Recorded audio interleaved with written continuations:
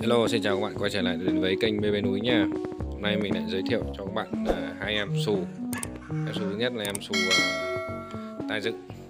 Được uh, hơn 5 ngày tuổi, gần 2 tháng các bạn ạ. Em này rất tính đực, tai dựng. Đuôi xoăn tít nha các bạn nha. Cong chính giữa luôn, mặt cáo này Đấy.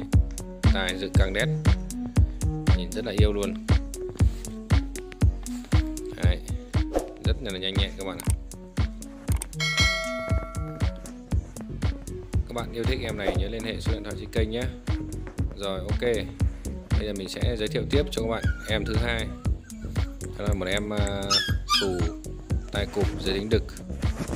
Đó. em này thì uh, cũng khá trắng tai gần trắng tinh các bạn gần như trắng tinh luôn. Có một tí vàng vàng một tí thôi. Đó. em này cũng dưới đính đực cả hai em đều dưới tính được hết các bạn ạ. Các bạn yêu thích em nào nhớ liên hệ số điện thoại trên ờ, kênh nhé. Rồi, cảm ơn các bạn. Các bạn à, thấy những chú cú đẹp, nhớ like, share, chia sẻ video này cho mọi người xem nhé. Rồi, các bạn nào muốn xem, nhớ ấn đăng ký kênh, bật nút chuông để xem thông báo mới nhất nhé. Ok, xin hẹn gặp lại các bạn trong những video tiếp theo. Bye bye.